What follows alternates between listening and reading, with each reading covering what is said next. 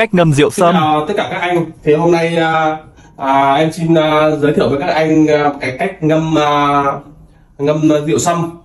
Thì à, để ngâm rượu sâm thì hôm nay à, sâm là là là, là sâm của sâm sau khi mà mình à, mua về mình sẽ rửa sạch và mình rửa sạch và sau đó rửa sạch bằng nước lọc nha. Xong sau đó thì mình sẽ đổ khoảng một lít rượu và mình tráng tráng qua cái sâm này đi à, còn cái ờ, à, bình cái cái chum mà để mình ngâm rượu xong thì thực sự thì à, em rất là thích ngâm uh, rượu bằng chum.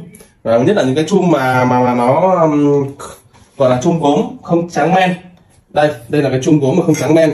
Thì cái chum này sau khi mà mình mình, mình mua về rồi á thì mình sẽ rửa lại bằng nước lọc rửa sạch à, ra những cái bụi cát ở trong à, chum. Và sau đó ấy, mình để cho ráo khô ráo khô nha. Và sau đó mình sẽ lấy một một cái à, một cái nước rượu mà hồi đấy mình tráng mình tráng cái cái cái cái um, cái sâm này này, mình đổ rô và mình tráng lại tráng lại bằng rượu. Đó.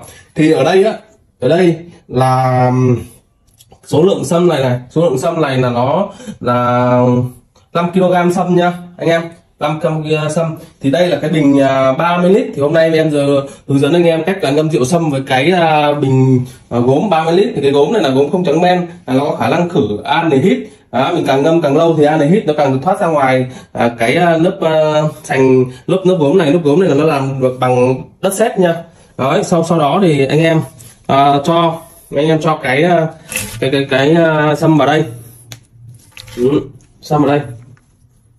À, khi mà anh em đổ sâm vào đó, cho sâm vào bình cho sâm vào bình và khi mà sâm mình cho hết vào bình rồi á thì mình sẽ sẽ sẽ, sẽ đổ rượu vào nhá thì à, đây là mình cái à, video của mình là hướng dẫn anh em cách à, mình ngâm rượu sâm à, cái ngâm sâm là một cái sản là một cái thảo dược à, quý à, rất là tốt cho sức khỏe. Đó. đây là cái bình à, 30 lít nha 5 kg sâm đây mình gọi là sâm trắng à, sâm trắng thì cũng rất là tốt cho sức khỏe và mình sử dụng sâm trắng thì thì thì, thì nó nó không có uh, tăng huyết áp như là mình dùng các loại sâm khác. À, sâm à, mình dùng sâm khác thì có nhiều loại sâm thì dùng có thể dễ bị tăng huyết áp còn à, riêng sâm trắng này thì thì thì rất là uh, hạn chế cái vấn đề tăng huyết áp đối với những người mà huyết áp cao ấy. Đó. Và khi mà sâm mình đổ sâm vào đây là đầy bình rồi. Đây. Và tiếp theo bước sau ấy là mình sẽ tiến hành là mình đổ rượu vô mình đổ rượu vô nhá đấy. Rồi à, và cái à, khi mà mình à, đổ đầy rượu vô rồi nếu mà khi mà mình đổ đầy đầy rượu vô rồi thì mình đẩy lắp vô là mình quấn băng keo vô để cho nó kín. À, rồi để cho nó à, kín và sau đó mình cất vào một cái à, lơi. À, cái cái chung này mình sẽ cất vào một cái lơi mà nó không có ánh nắng mặt trời không ánh nắng mặt trời để cho rượu luôn luôn ở trong tình trạng là mát lạnh rất là để cho cái hương vị của nó về rượu ấy, nó vẫn còn lưu lại.